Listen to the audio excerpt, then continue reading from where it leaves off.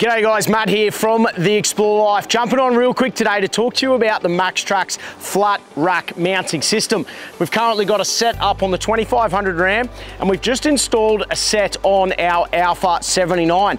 Now there's a few different systems you can use and a few different variations. We've been asked a few questions, so let's run through it. Okay guys, so there's a few different ways you can mount your Maxtrax to your vehicle. Today we're gonna talk about probably one of the most popular, it is the flat rack mounting system. I've currently got them on a couple of Pioneer racks. These are great on load bars. Some people mount them on the side of their canopy doors. They are an extremely versatile mounting system that suits all Maxtrax and good chance they're gonna be perfect for your vehicle as well. So once you got your flat rack mount, uh, you're halfway there. The next step is to determine what set of mounting pins you're gonna need for on top of your four-wheel drive. So very simple. There's three different sets of boards and there's three different sets of pins. Let's kick it off. The first set of pins, 17 mil pins. These guys are perfect for your lights, two to four lights, or your Mark IIs. Now, step it up a notch. You're a hardcore wheeler, very similar to my Ram. You've got four Maxtrax Extremes. If you're running two or four Maxtrax Extremes,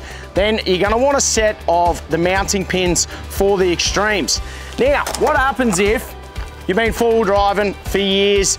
As a young fella, you got a set of Mark IIs, and then as you developed and you got into some more hardcore wheeling or bigger touring, and you grabbed yourself a set of Extremes. What do you do now? Well, there's actually a mounting set here, the hybrid. This will suit two or four of the Mark IIs, or you could go two of the Mark IIs and chuck a set of Extremes on top. So that's what we're actually running up on the 79 at the moment. We had a set of Mark IIs in the shed, we added a set of Extremes, so we used the hybrid set. Three different solutions for your next adventure. If you're sick of having your Max Maxtrax banging around in the back of the ute, head camping and you've forgot them, you've left them at home on the floor in the garage, then the flat rack mounting solution might be for you. They're always on the top of your car, easy to get on and off, secure, safe, right where you need them, when you want them. If you want to know more guys, jump over to the Max Maxtrax website, check it out.